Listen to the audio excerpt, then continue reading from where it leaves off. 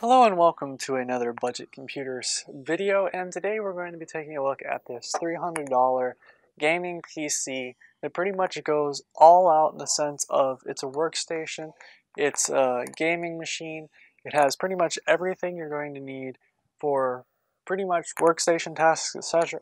So let's talk about what we got in the specs. Currently I've got 16 gigabytes of DDR3 memory sitting in here that is basically going to work as workstation memory that um, basically when you're you know doing video editing, which gaming only requires, we'll say eight at a minimum. Um, 16 is probably safe for now in the day's market, but for the for the workstation task, 16 is a minimum, so I put that in there. As for the GPU, we have a GTX 460, which is one gigabyte of DDR5 um, uh, memory, or GDDR5 um, memory, which basically sits in there hard drive, I've actually got my personal OS drive as well as my um, game drive that I'll be putting all the games on testing with. Um, so over here, um, basically the system just has um, pretty much a simple layout, uh, regular kind of semi-decent power supply.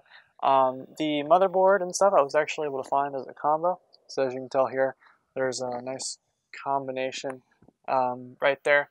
But um, basically, this um, hard drive and the SSD are kind of separate. But in order to get like a new uh, used hard drive, like a terabyte, it's only um, like 10 bucks more. And actually, this computer is more like 250. So there's still a good bit um, more range to actually go up and add stuff or take stuff away. Um, but as I said, the reason why there is a sound card in here is simply because of the fact that a sound card, this motherboard doesn't actually have output for sound. And if you're gaming, you really want that surround sound so you're really going to need that. Um, down here on the very bottom, there's a landline. Um, I just got too lazy to take it out. It was all in the motherboard with the motherboard. So basically, I just kind of took the motherboard and, you know, popped it in here and then started adding to it. Um, this was the original GPU that I found. Um, it's an old ATI Radeon. But um, now I think I will go with um, this uh, the GTX 460 instead, just because it's simpler and easier to use in that sense. But besides that, this computer all comes around or comes to around um, 250 bucks. If you wanted to add some additional hard drives, you'd basically be looking at, um, you know, depending on what you're going for, if you want five terabytes of hard drive space, which I'm sure, assuming if you're doing workstation tasks, you probably are, um, then, you know, you can always add those in here. Um, and of course, this looks like a semi-good system. There is no side casing though, but this is basically built off of a old Dell XPS computer, which basically is what you're looking at right here is the casing um, and then the motherboard as well, and with the CPU. And the CPU, we'll talk about that. CPU has an i7, um, I believe it's the I believe it's the first gen, I think. So the first gen i7 is in there, and basically that's what you're looking at inside that system. So uh, let's get into the kind of building stage of this, and then of course let's move on to the testing.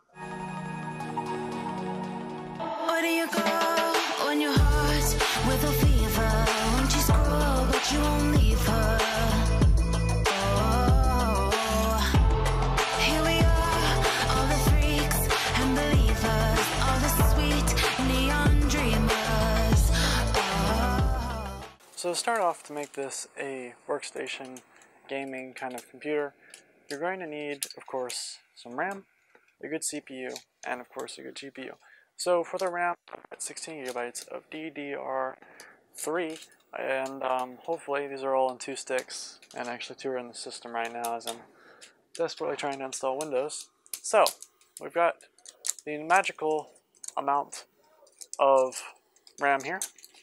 And basically, what we're going to do is we're going to max it out 16 gigs, and we're going to pop it in here. The GPU, which also is different, is um, right here which is a Gigabyte GeForce GTX 460, which basically uh, I believe is actually the down the model that I previously had that I gave to my uncle for his um, budget computer as well. But point being is we're going to be using this right here as well as some RAM and of course the i7 that's currently in here to basically make this as a top tier kind of budget computer as you can for workstation in general. So this is an old Dell XPS, which basically, um, in its prime, I guess, was designed as a workstation.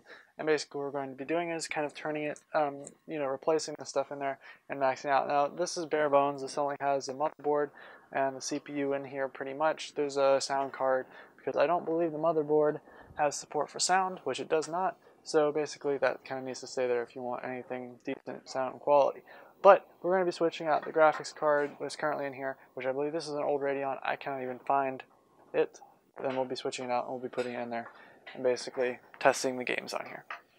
So we are in the PUBG, and uh, honestly, I it's a little bit laggy. I can pretty much tell, especially when you get in the screen, you get a little bit of screen uh, you know, just just a little bit of jittering when you're going across the thing.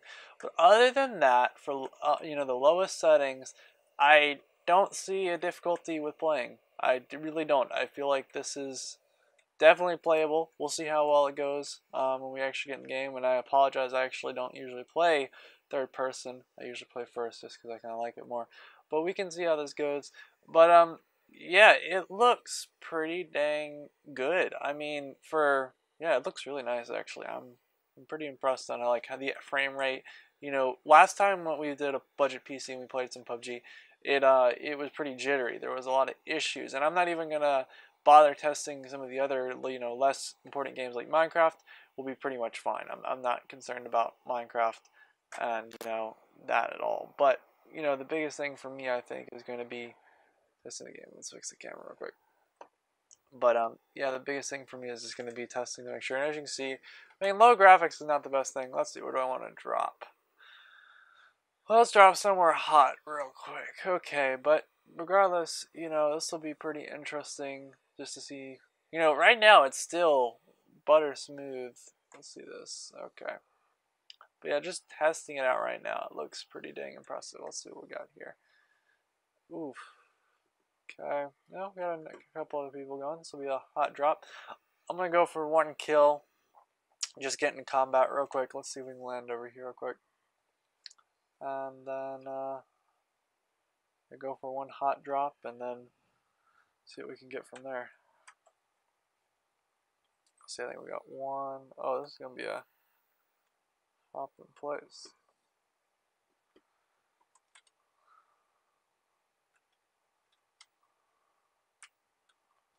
See if we can land here, get a gun, and just go. Because I usually don't play third. There better be a gun here somewhere. That's a backpack.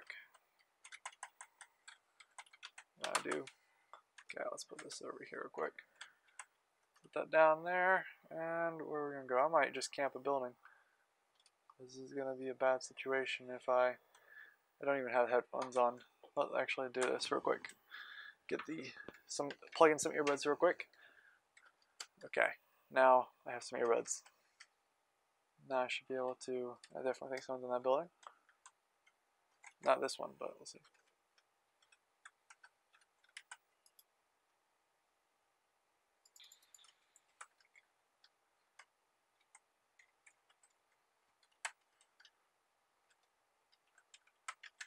Well, I mean, hey, it looks like they actually did good with the shotguns.